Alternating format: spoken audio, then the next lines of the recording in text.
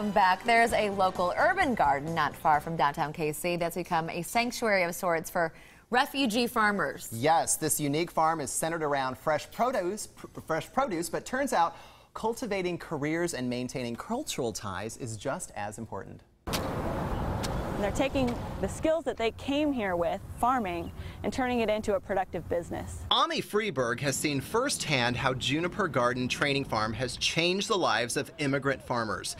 They're each given a quarter acre plot of land and an opportunity to thrive doing what they know. Each of these different farms represents an individual farmer who has their story about fleeing their home country, coming to America after being in a refugee camp, and then ending up with something that they can really call their own, and that's something that they're really proud of.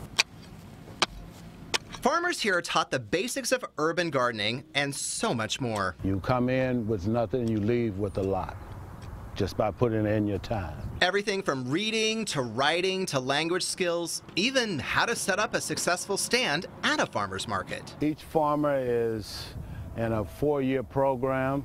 They start from one and go to four finish, they graduate, they uh, move out and start their own business. The farm grows thousands of pounds of food right outside the city limits. They're growing food, they're earning money, they're feeding themselves and their family foods that they can't get anywhere else in the city. But then they're also connecting with the greater Kansas City community. Juniper Garden is a featured stop on the Urban Grown Tour, giving people a chance to visit with some of these farmers and sample their wares. Speaking of, what's popular this year? The hot vegetable is always tomatoes. Everybody wants tomatoes. Kale is another big one. The last couple years, everyone's on board with the kale. It's a superfood, all the nutrients, but it's also really tasty. Come out and see what these farmers are doing for yourself and really talk to the farmers. Some of them will be out here sampling some of the food from their cultures. So it'll be a great way to really interact with the farmers and see what they're doing here. What a unique program. The Urban Grown Farms and Garden Tour is tomorrow and Sunday from 10 a.m. to 5 p.m.